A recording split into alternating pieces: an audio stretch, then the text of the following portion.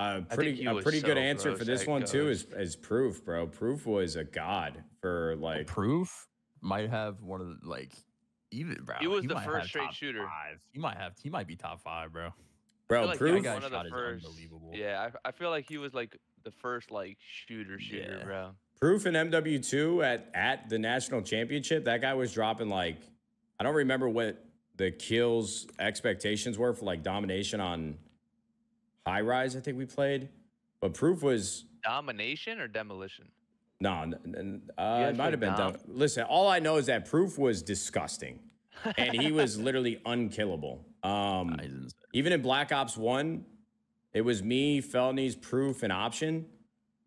This guy Wow, was literally, bro. I'm not kidding. This guy, Proof, was just picking up three, four pieces every life. It was unbelievable. That proof is gross. Bro. I, I remember playing I used to- Proof.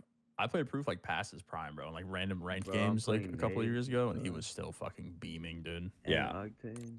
Well, proof And uh, in Lily. Black Ops One, he ended up getting picked up by Leverage, right? And they won Anaheim, was it? I'm not sure. I, I feel like I feel like that was like the first like quote unquote when I watched. Like I started watching Black Ops One competitive. I feel like when I watched, like that was like the one of the those moves where it was just like. Yo, Funky, thanks for the sub, buddy. You're the was, like, man. Seth, Pat, um, Oh, Quantic Leverage. Proof. Yeah, I think like this is one of the probably one of like I don't know if Bobby was still on the team or who they replaced with Proof, like for Proof. I'm pretty sure they won Anaheim. Wasn't it like Doug? Wasn't Doug on that roster? Or am I tweaking?